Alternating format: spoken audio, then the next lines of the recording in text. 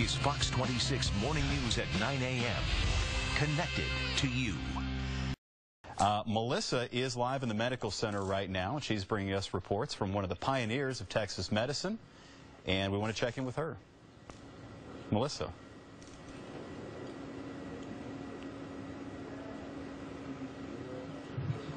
We are celebrating the heart today, Mike. That is because St. Luke's is now celebrating 30 years of their transplant program. I have a patient here who had a transplant 22 years ago when you barely even heard about transplants, plus one of the pioneers right here in our medical center. It's an exciting story I can't wait to share with you. I am so excited to be here in the Texas Medical Center this morning because something big here is happening.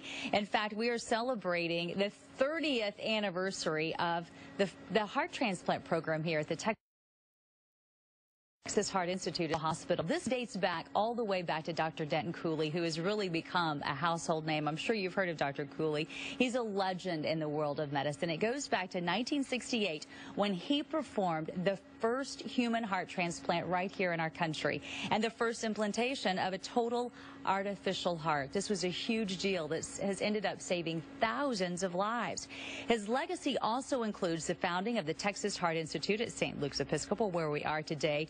As I said, it's celebrating 30 years of life-saving surgeries. At 91, Dr. Cooley is no longer in the operating room, but one of the surgeons is certainly taking up where he left off, and I'm going to be talking to him in just a bit. But first, I have a special patient with us today who knows all too well what a heart transplant means. That's because he underwent one 22 years ago.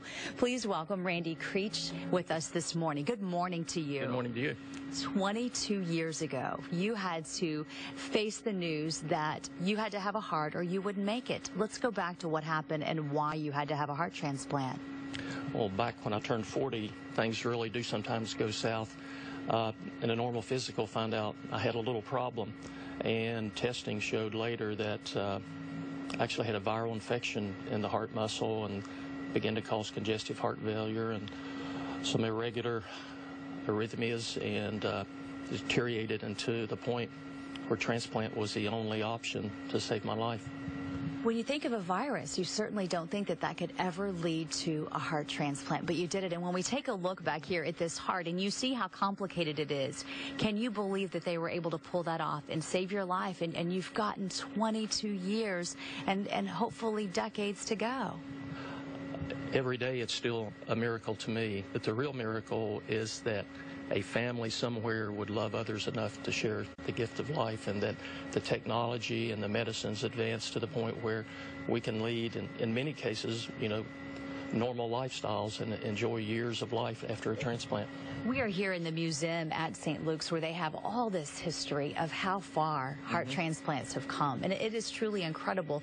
Now you have spent these last few decades helping others going through this same thing. You drive in every single day to, or every single week to this hospital to help people going through the same thing. Can you believe how far it's come?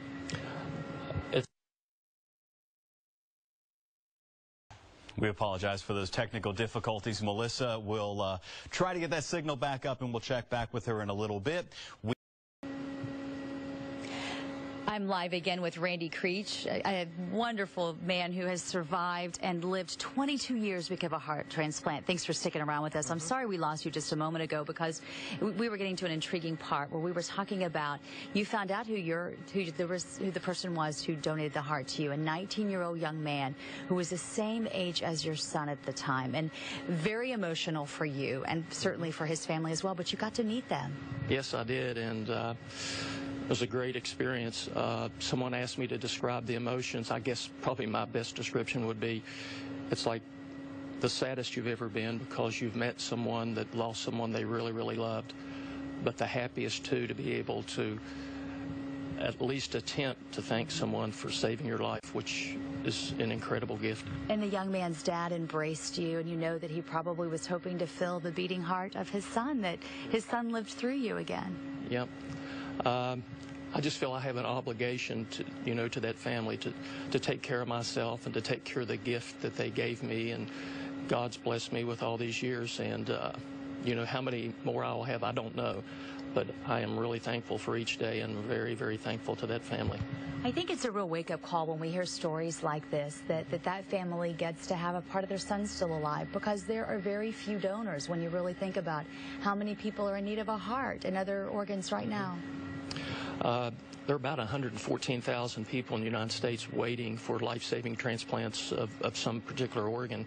Each day, 18 people will die because there's not enough donors. So that's why I share the news about, you know, registering to be a donor and thinking about giving life to others because incredible gift, obviously. It's so amazing to be here in this museum and see how far it's come. And we're going to be talking to the doctor in just a little while, who is one of the pioneers here, who has seen it come from, from the very humble beginnings to how far it's come today to save people like Randy. Randy, thank you for being here today. Thank you. It's an honor to talk to you. I'm so proud and so happy for you and your family that you've gotten all this extra time to live. Yeah, I'm certainly going to enjoy them, and hopefully I'll have more, but who knows? But that's the promise and that's the hope. Oh, may God bless every one of your days. Thanks Thank for talking you. To Thank us. you, and again, we'll have that doctor coming up to you. Welcome back, everyone. I'm live at St. Luke's Episcopal Hospital this morning where they, they are celebrating 30 years of their heart transplant program. And right now I'm joined by one of the pioneers here at this hospital. We're talking about Dr. O.H. Frazier, better known as Dr. Bud Frazier. Good morning to you. Good morning. What an honor to be with you today. We take a look at the history here in the museum at, at, St. Luke's of how far we've gone, and your research helped lead to these heart pumps. So we're talking about just a completely different step even than a heart transplant. Well, I've been working on these pumps since I was a medical student, and we've made a lot of advances in the field since then. And they've already been here at the at the uh, Heart Institute. This is the first continuous flow pump that we implanted in the early 80s. And that's a, a very good pump, and it was uh, worked experimentally. These pumps actually have gone on to uh, become very small, and they're very uh, effective.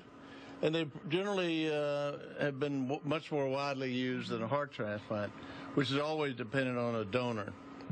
Unfortunately, we always uh, have to depend on someone else's misfortune mm-hmm. in order to help these uh, poor patients. And so these pumps help us a lot in that. In your career, you have been able to pull off so much, including the first transplant of a child. With what was it like to be able to, to pull that off and save a child's life? Well, I think we just do what we we address the problems as they come up. You know, mm-hmm. we uh, have a dying child. You do what you can, and uh, it was a very gratifying experience. But of course, the child died after 10 years, and that's what we've got to do. We've got to improve mm-hmm. the longevity of these patients so they can live a normal lifespan. And currently, we can't do that. Everything I read about you shows that you're quite the humble man, considering you've saved thousands of lives. Any idea how many about how many heart transplants you've done? Well, I've done about a thousand, but uh, it's still you know, there's still a lot of patients. The, th- the thing about medicine, it's very humbling. Mm-hmm. You know, we've lost two patients this week that uh, uh, we could have saved if we'd had a had a good total heart replacement. Well, you've made a huge difference here in our community, and it's such an honor to have you here in the Texas Medical Center. And I understand that in school you thought about being a lawyer, and your mom said when you decided to go on to being a doctor that uh, I don't think you'll make a very good doctor. Is that true? And I guess well, you proved her wrong. Yeah, well, I didn't hunt. You know, I wasn't. A, she thought uh, I would be better if I could uh, like to hunt. And uh, I said, uh, you know, mother, I don't like to kill things. And she she said, uh, and I don't think you need to be to to kill things to be a good doctor. And her response was, well, I don't know, but it might help. I, as I grew older, I realized uh, what she was talking about. But uh, but it is uh, very gratifying to have been able to make these contributions in our medical center. I think our medical center is probably not appreciated as much by the people even in, in Houston, the largest medical center in the world. Well, Dr. Frazier, thanks for talking to us this morning. I know you're a busy man and you've got to probably get back to the operating room. Great to talk to you this Thank morning. Thank you very much. We'll be right back.